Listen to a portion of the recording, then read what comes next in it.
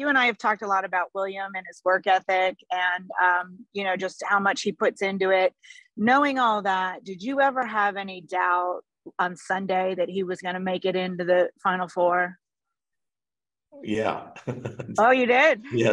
well, Sunday I did. Yeah. I mean, it was, uh, that was a nail biter. I, you know, we, he's won that race before and, and, you know, we've, we've been so good at Martinsville and that was a struggle. And uh, you know, it it was just a touch. It was a tough race, and as it played out, you know, when, once we could see that that probably the twelve was going to win, and uh, we had to finish it. I think 18th or better. We were in good shape, but uh, not the way we wanted to finish that race.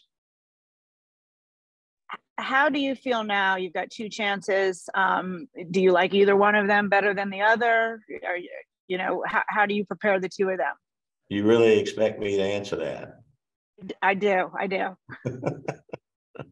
Well listen uh, both of them have had a great year. When you look at william has has won six races and kyle four plus the all-star race. Um, you know we've taken two good cars and uh, william won that race in the spring. So um, we're we're just happy to be in the race. We're happy to have two cars going out there for the to race for the championship.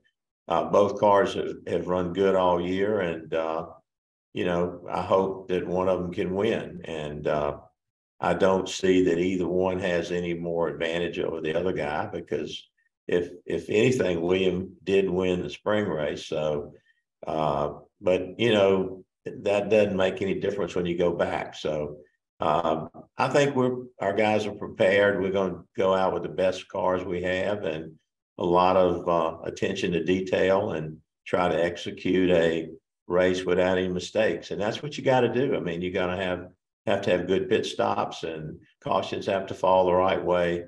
Uh, you know, you can be a dominant car and not win this race. So we just got to run the race and uh, just again when you start the year, you want to try to get cars to the championship four, and when you can get one or two, you've you've had a great year. So uh, very happy that we're we're going to be there with these two guys, and we'll see how it works. Yeah, Rick, uh, there hasn't been a driver raised in North Carolina who's won a championship since Dale Jarrett in 99, as far as the cup side goes. I'm curious, does William could be the first since then? And yeah. d- does it matter? You know, it. I think uh, to have a guy like William that grew up here in Charlotte that uh, is kind of a native of the Charlotte market where all the teams are based. Uh, I think it would be a great message or for him to win the championship. But you know, I don't think where you're from makes any difference really. Uh, uh where you live now is what counts. Kyle's here and uh, Blaney's here and you know, it's uh, and and now Christopher Bell's here, so it's it's um, maybe it's bragging rights for the states, but I, I don't see any difference. I mean, it's you know they're all living here now and racing in NASCAR. So uh, I think Williams' age, I think his story would be really a big story if you take a kid that didn't grow up in the sport, that had no connections in the sport, that was able to go to college and do all the things he has done, learning how to race on a computer. I think that is kind of like when Jeff Gordon came on the scene and opened the door for a lot of open wheel guys.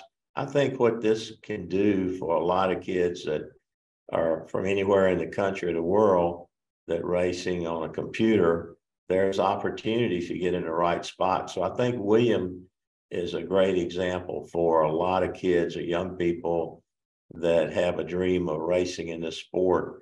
Uh, that you know he's seen that you can put those tools to work and accomplish something pretty pretty spectacular. Rick, do you think it makes a difference whether you've been in it before or won a championship before? You have, say, a William Byron that is relatively new to this, and it is such a big task Yet he's very talented. And you have Kyle Larson and, you know, folks that have been in it before. Larson's won a championship. Does that make a difference in your mind? You know, I I, I really don't think so. Um, the nerves are there for both guys. I was just with Cliff out in the shop a few minutes ago, and you can see the intensity that's there. Um, you say, well, you know, you've been there before. It's um, uh, it's kind of the way this thing plays out. You got to go run one race, and once they strap in the car, everybody uh, that's got a car in this race is going to do the very best they can to take the best best car they've got with all the, the information that they can gather to be ready for this race. And I think uh, I don't think it's any more pressure for William this weekend than it was last weekend, and uh, just trying to make it into the race. So uh, I've seen Jimmie Johnson after winning four straight as nervous as he was, and Chad going into the the next next race. So I don't. I, I think the organization has the experience of running for a championship. So he's surrounded by four crew chiefs and four drivers and an organization that's been there before with Jeff Andrews, and Jeff Gordon, and all of the folks that support the team. So I think we give them all moral support, but preparation here and trying to call a good race and just execute. And uh, I think uh, when you look at Rudy, he's as good as there is in the sport, and so is Cliff. So I think that um, they're prepared, and once he straps in the car, I think getting ready to go, uh, all the, the conversations and interviews going into the race, the pressure of knowing you've raced the whole year. And for William, he's raced his life, and here's a shot to win a championship. I mean, yeah, that's going to be more pressure, a lot of pressure, and for sure, Kyle's won one, so it, it's not his first. But uh, again, I watch these guys when they get ready to go into a one race deal. Uh, the nerves are there, and uh, but once they get in the car, I think uh, everybody will be ready to go. I'm glad you said that about Jimmie and the nurse, because some had said that William, and no discredit to him, had a sense of panic almost on the radio and that he almost panicked there. But that's what you get when you're thrown into that and what you'll face coming up. He will not have to face the likes of Martin Truex Jr. and Denny Hamlin, and they're all relatively young guys. What do you think of that?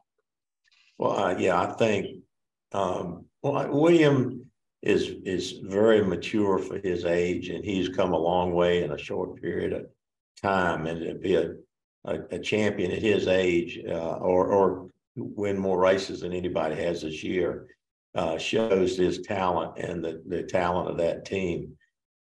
I think you know every experience is a learning experience, but I again I go back to watching Jeff Gordon, Jimmie Johnson uh, get ready for uh, you know uh, luckily, I like the old, I guess this is not fair to say, but I like the old system better where you can win at a, a race before the end of the year and you don't have to go down to one race uh, with four cars.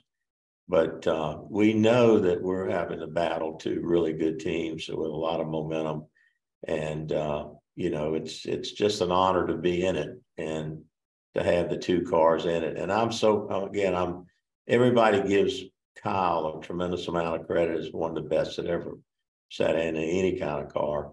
Williams kind of been under the radar for a guy that's won six races and, uh, you know, had a ch- chance to win the regular season uh, championship. Um, for him to accomplish what he has, he's kind of been under the radar. Nobody has talked about him a lot. And, uh, but if you look at what he's been able to do, it's pretty impressive. And at his age, uh, and the chemistry between he and Rudy, uh, I think there will be a lot of championships in their horizon. Thank you and good luck, Rick. Good Thank luck. you. Thank you, Claire. All right. Our next question will go to Dustin Long. Go ahead, Dustin. Thank you. Hey, um, Rick, I- am just curious. Going back to 2016 when you signed, August of 2016 when you signed William Byron, looking back at that point, you had Dale Jr., on your roster. And I know that was the season he was hurt. So Alex Bowman was running some races. You had Chase Elliott's rookie year, Kasey Kahne, and Jimmie Johnson. So um, you had uh, you had a couple of young guys already, and you had Alex in, in kind of in place. What led to you know going after William? I know he had that great. He was having that great truck season, yeah. but as you looked and planned, how why did you decide to to make the move at that point? you know, the thing about William I was so impressed with was how quick he learned and what he did in late models and what he did uh, and the uh, you know the legend cars, everything he got in. But more than anything, his determination to have a goal and go after it. I mean, for when I what blew me away with William was the fact that he he won that I guess the K and N Series championship, became an Eagle Scout, graduated Country Day, which is the toughest school, private school in Charlotte, took college courses at the same time, did all that in the same year. I remember a weekend, I, I kept up with William through my neighbor that was friends of his dad. He said, Can you believe that kid raced on, on Saturday or Sunday, got in a car, went to the mountain, slept in a tent at eight degrees uh, to get his Eagle badge? And I, I, when when I looked at him and watched him and and what remembered what he did at JRM and uh, how confident he was when he walked up to me one day when he was like 15 and said, "I'm going to drive for you one day." He just had the whole package, and I just felt like you put him in the right spot and give him time, he's going to develop into something really special because he's a special guy because he has got what uh, a, a drive and determination. You you see him you think he's a mild mannered little guy and he doesn't have, you know, he, he's not a killer instinct. His determination to succeed uh, and his willingness to work hard and his willingness to put in the extra hours and to spend time in a simulator and when nobody else wants to do it or they've done it they don't need to, the time's open he'll take it uh, his his his work ethic is so uh, impressive. And I just felt like, you know, if he was in the right spot with the right people, he was going to do great things. And, and, you know, it's turned out to be that way. Were there reservations with moving him up to Cup in 2018? Considering, I, look, he had great success at lower levels, so uh, he'd shown some success. But obviously, there's always the question: Do you move somebody up quickly and throw him to the wolves and let him learn, and and this is a tough place to do it the cup series or do you give more time to learn the trait you moved him up quickly. Why so? In the reservations? Yeah well you know what? I have i'm probably a little different from a lot of people. I think you can leave them in xfinity too long. I think you, you, know you learn a lot. But if that's if, if where are you going to spend your time i look at ty gibbs as an example. Ty it was ready for him ty to move up. I mean he wanted he won a championship. William did too in Xfinity.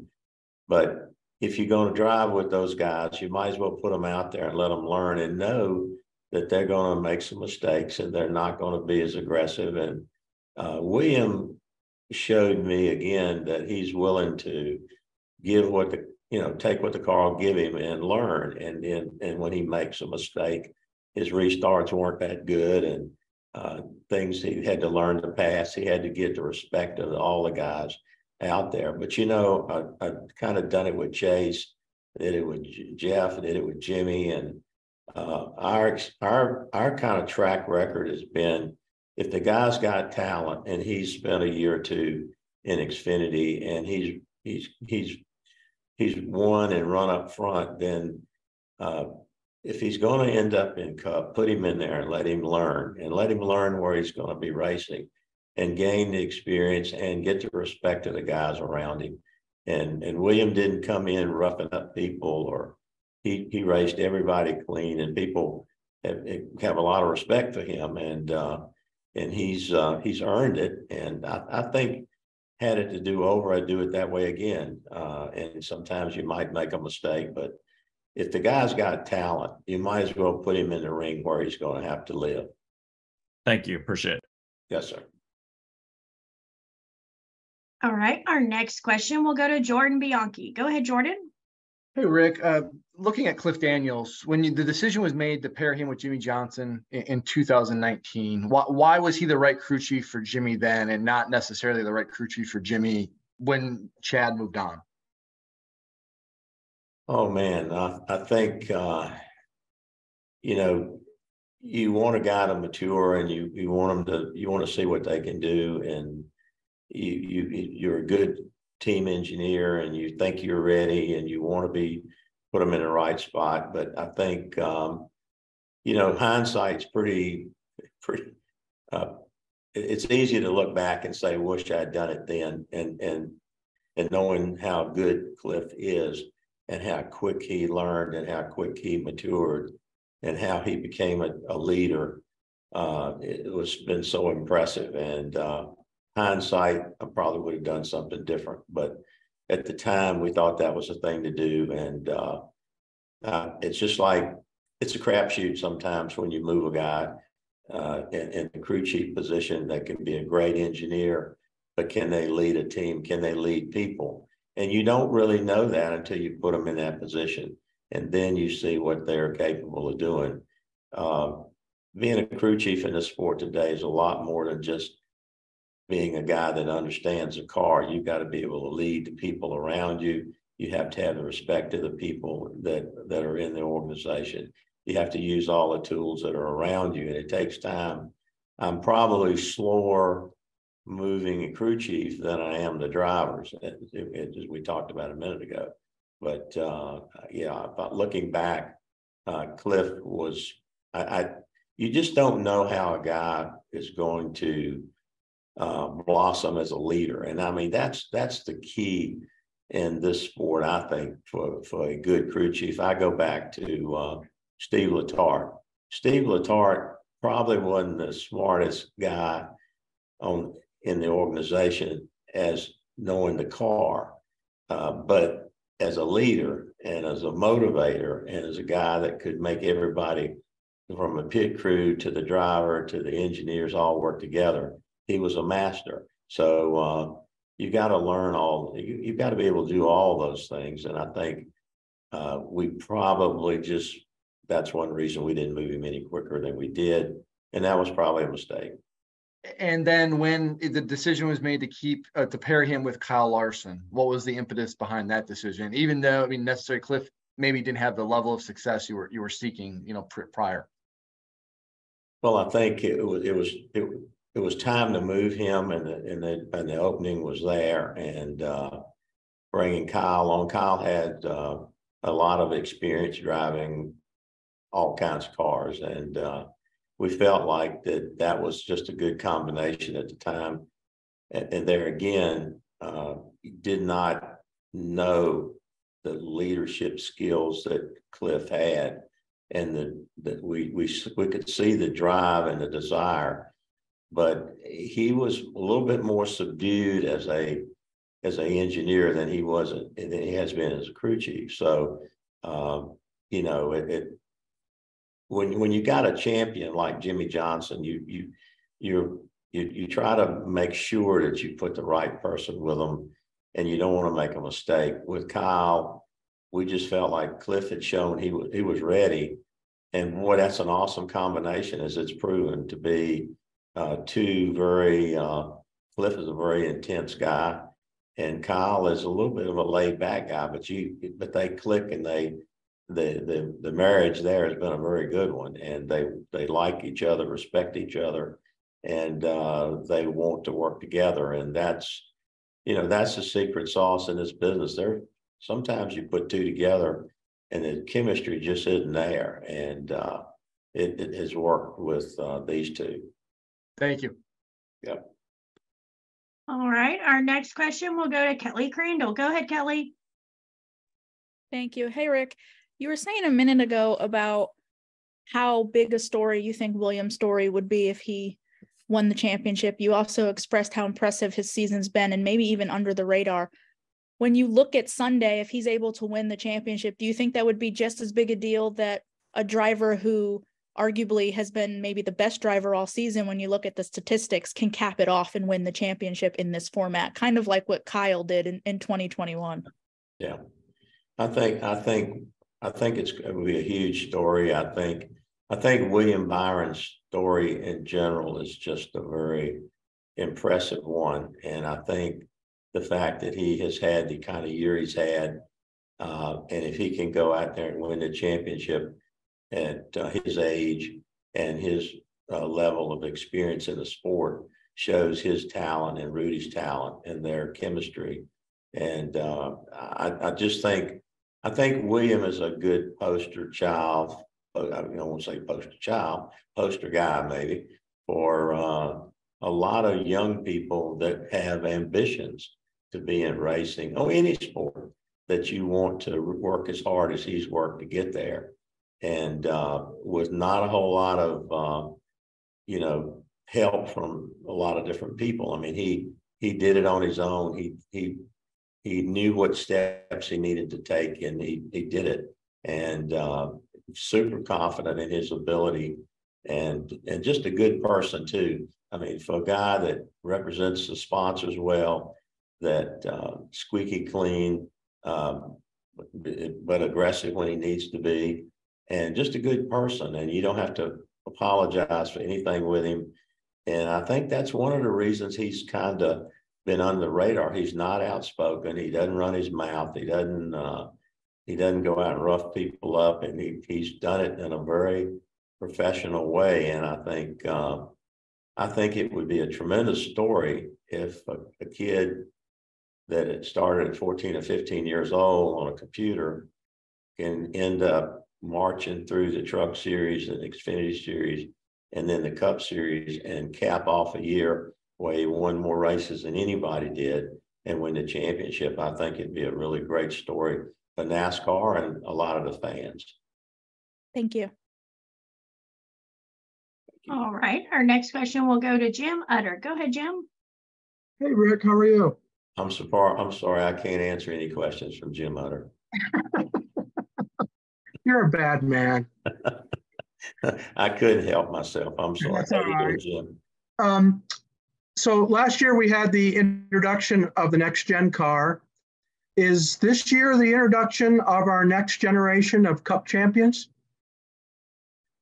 Well, I, I, I, I think what this, I think this what kind of shows you is um, that any, I won't say anybody, but there's there's probably 10 or 15 guys out there in the right position that could be in these this playoff and be one of the guys in the final four.